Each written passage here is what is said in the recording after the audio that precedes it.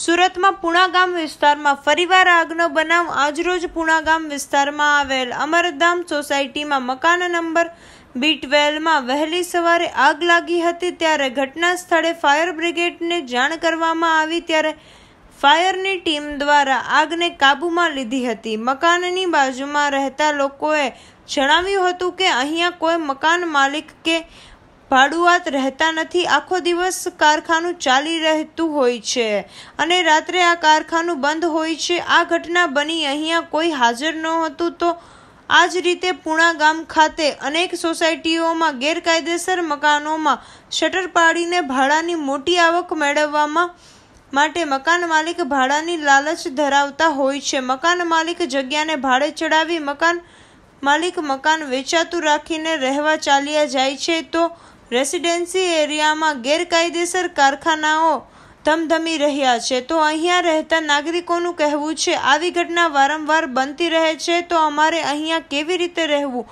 બીજે મકાન લઈ શકતા નથી અને અહીંયા કારખાનાવાળાઓનો ત્રાસ વધતો જાય છે. માટે રેસિડેન્સી એરિયામાં કારખાનાઓ બંધ કરવા માટે મીડિયા સમક્ષ સરકારને વિનંતી કરી હતી. રિપોર્ટર કેસી વગાસિયા સાથે આશિષ ફળદુ, સુરત.